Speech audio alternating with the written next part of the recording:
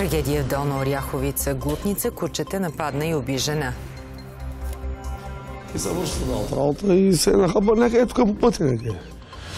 Четвърти ден вълна от бомбени заплахи залива страната. В Сливен задържаха ученици за подаване на сигнали за взривни устройства.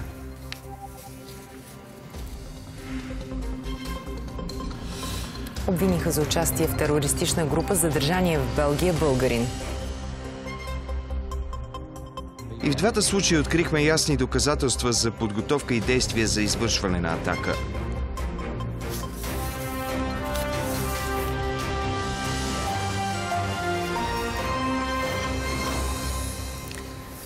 Здравейте, започват новините в 5 след обед. Аз съм Виктория Петрова. Глутница кучета уби жена в Долна Оряховица. Трагичният инцидент в града е от тази сутрин. С подробностите включваме Марияна Трифонова. Здравей, Марияна. Как се е стигнало до инцидента и има ли свидетели на трагедията? Здравей, Вики! Ето това е пътеката, по която е вървяла жената рано тази сутрин, само на метри от мен е и мястото на инцидента. Интересното е, че вероятно заради ранния час, но никой не е чул викове за помощ или пък кучешки лай. Малко по-късно тялото е намерено повалено на земята, намерено от съседи и именно те подават сигнала към 112. Ето и подробности. Жената е открита около 8 часа с множество разкъсни рани на метри от дома й. И завършва да от работа и се нахаба някъде тук по пътя някъде. Но никой не е чул да вика Не, за не. помощ. Не знам. Те кучетата влизаха и в нашата къща и в моя двор, нали? Има ли човек, който се грижи за тях? М, Пак ви казвам, нищо нямам представа. Кучета са следи по муцуните са открити в имота до мястото на инцидента. Водят се безстопанствани, но за тях периодично се е грижил обитателят на имота, разказват съседи. Екипът ни обаче не успя да го открие. Жители на гърчето са сигнализирали за опасността още преди година. Вече много ни е голяма мъката така. Създавали се и преди, от преди година жалба има от 20 човека. Жалбата е в полицаите в момента. А кой се е грижил за тези кучета? Официално са безстопанствени. а всъщност- Официално е там в къщата на ъгъла с бялото. Там живеят. Има човек, се е грижил. Кметът отрича. За въпросните нямам конкретен сигнал. От болницата в Горна Оряховица ще подпомогнат финансово семейството на починалата, която колегите и видяли за последно вчера. Доколкото знам, тази сутрин е трябвало да бъде на работа. Разследването продължава. Задържаният в Белгия 20 годишен българин вече е с повдигнати обвинения за участие в терористична група. Той и още 6 души са арестувани в рамките на мащабна полицейска акция срещу джихадистки мрежи. Какво се знае до момента? Разследването следи специалният ни пратеник в Брюксел Десислава Минчева. Добър ден! Вики, здравей! Информацията до момента. Задържани са един българин, един турчин и петима белгийци, всичките на възраст от 19 до 24 години. Паралелни са били акциите на белгийската полиция в Антверпен и тук в Брюксел, където е задържан и българинът Сергей.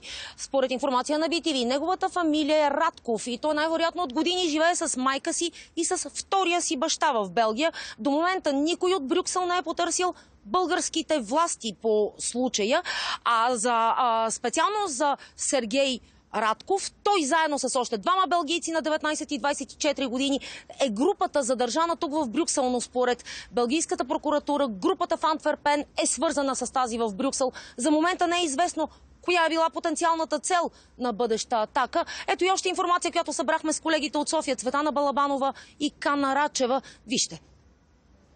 Един от обискираните адреси е в Моленбек. Брюкселското предградие е станало печално известно с ислямистката клетка, отговорна за атентатите през 2015-2016 година в Париж и Брюксел. Задържаните в понеделник вечер в Антверпен и Брюксел ще бъдат изправени пред съда в понеделник. И в двата случая открихме ясни доказателства за подготовка и действия за извършване на атака. Не искахме да чакаме, докато си намерят конкретна цел, за да извършат нападението. Разследването обаче показва, че е имало силна готовност за извършване на нападения в Белгия. По информация на BTV, българинът Сергей Радков е задържан по подозрение, че е предоставял оръжие и не е сред основните участници в групата. Според източници, той е от Благоевград. Живял е в ромската махала, но преди повече от 15 години семейството се мести в Разград. След това заминават за Антверпен и поне от 6 години не са се връщали у нас.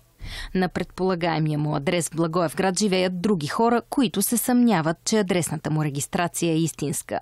Е, тук се познаваме тия къщи, тук се, се ги знаем. Да. Кой живее? Тук на едно момче, на Тони. Жена му е лекарка, по принцип. Сергей на 20 години познавате ли такъв Не, не, не. Да е живяло семейство преди сегашните собственици тук? Тебе преди 2-30 години, ако е, може би.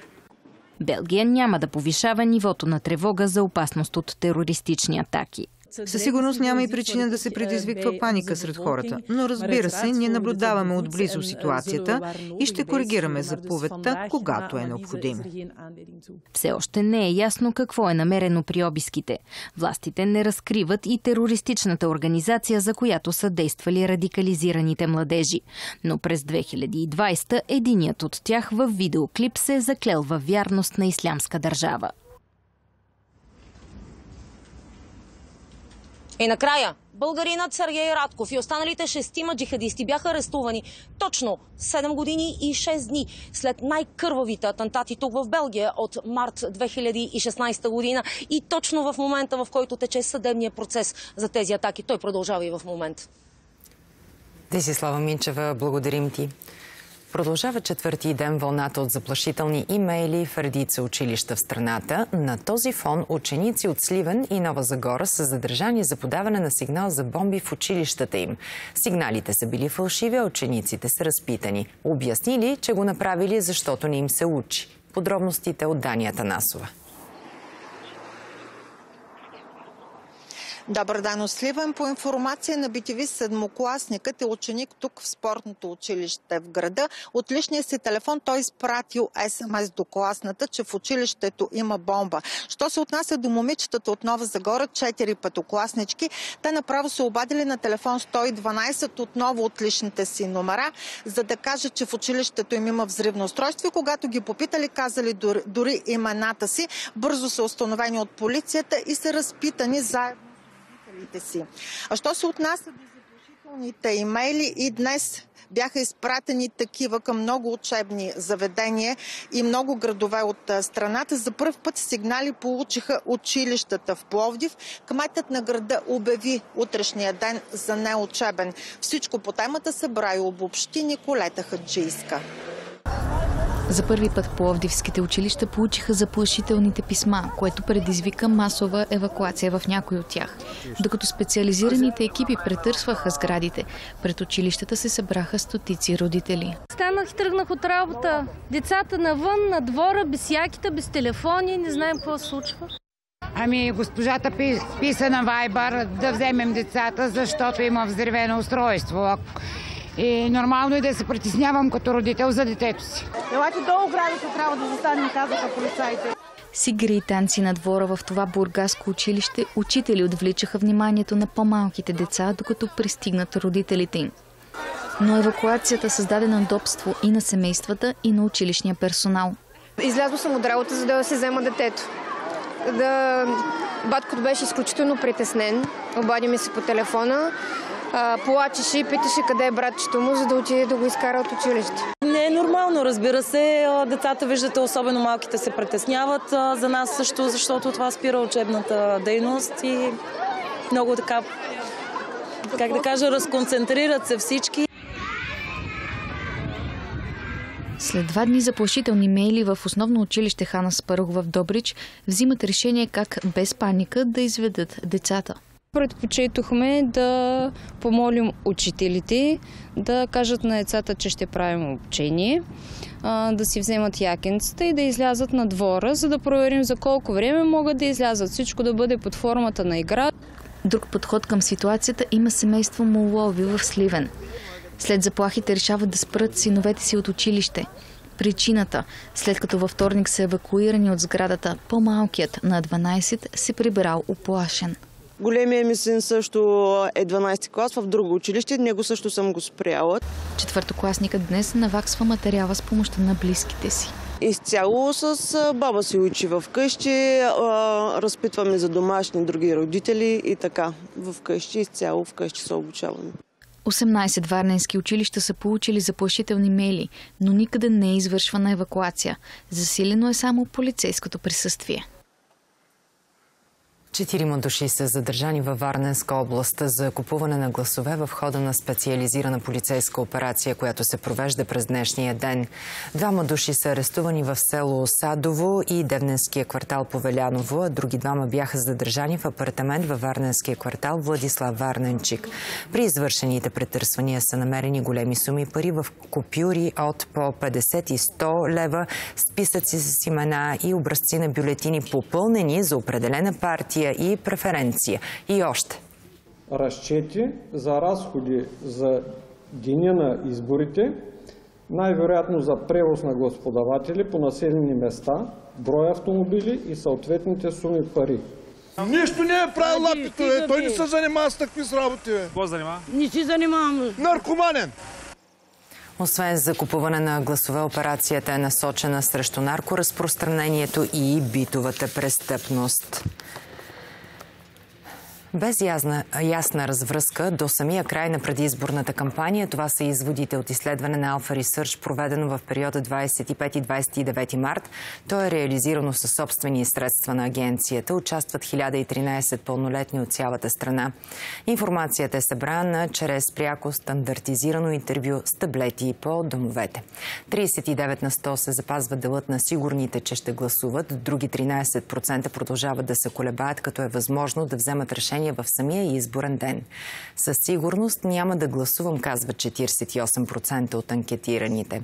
ГЕРБ СДС повишава леко резултата си от преди месец и към момента получава подкрепата на 25,9% от твърдо решилите да гласуват. При коалицията продължаваме промяната Демократична България са на лице известни вариации и с 25,4% те остават на дистанция от 0,5 на 100 от ГЕРБ. Тази разлика е много под статистическата грешка и на практика потвърждава паритета между двете водещи политически сили.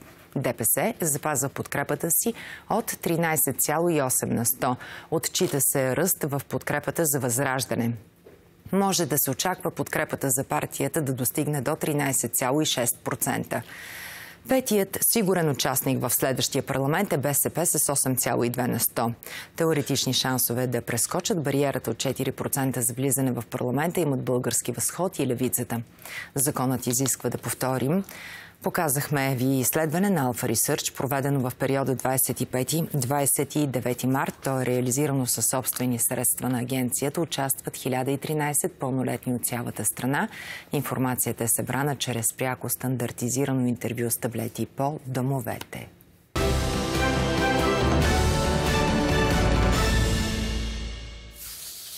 България започва разговори с още седем държави за промяна на европейския регламент за вноса на стоки от Украина. Това стана ясно след среща на представители на протестиращите зърнопроизводители с президента и ресорните министри. Обмисляте се и входни такси на граничните пунктове за украинската продукция. Християни Червенкова и кореспондентите ни обобщават днешното развитие по темата. Земеделци от Перник, Брезник и Радомир протестираха заради украинското зърно, което залива европейските пазари.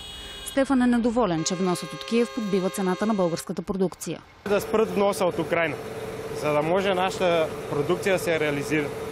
В момента складовете са пълни и не знам какво ще правим. Сред десетките протестиращи е и 22 годишната Елизабет. Да се спре вноса, да изкупат нашето зърно. По обяд земеделците потеглиха с тежка техника към автомагистрала Струма. Десетки земеделци с тежка техника обаче размислиха и не блокираха пътен възъл Даскалово. За кратко автомобилите, идващи от София, останаха блокирани, докато селскостопанските машини се изтеглят. Трактори затвориха и днес пътя към граничния пункт Дунав мост 2. Блокадата продължи половин час, но се образуваха километрични колони в двете посоки. Земеделските производители остават непреклонни в исканията си. Целият сектор, не само зърнопроизводителите, са поставени на колене.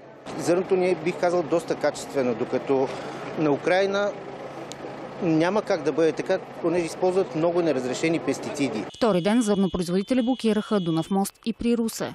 Очакванията ни са политиците да поемат политическата отговорност и да извадят България от регламента. След обед президентът и замеделският министр се срещнаха с представители на бранша, за да търсят решение. Резултатът за да се промени дадения регламент с защитните клаузи, които а, ние зърнопроизводителите настоят, изобщо земеделските производители, а, ако не се бъркам, 8 държави, минимум 35% от населението на Европа. Това е прага за взимането на решение. Ние утре ще си продължим протеста, ще си го доизкараме. За BTV новините Християния Червенкова. След малко започва лице в лице. Акцентите от Светанка Ризова. Цвети, здравей! Здравей, Вики! По регламент на BTV, днес и утре ще ме гостуват лидерите на двете коалиции, които според социолозите си успорват първото място на изборите в неделя. Днес мой гост ще бъде Христо Иванов от Продължаваме промяната Демократична България. Разговор за инфлацията, корупцията и мерките, които обединението предлага за справяне с бедността и неравенствата. Благодарим ти. Още новини в 19. Останете с BTV.